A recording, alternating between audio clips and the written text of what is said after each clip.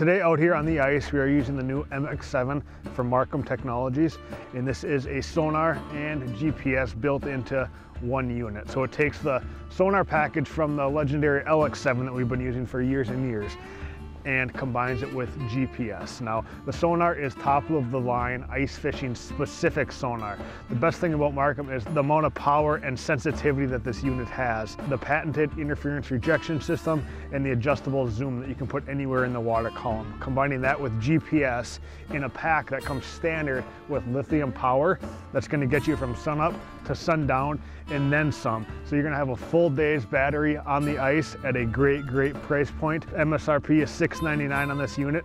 Check it out today, marcumtech.com.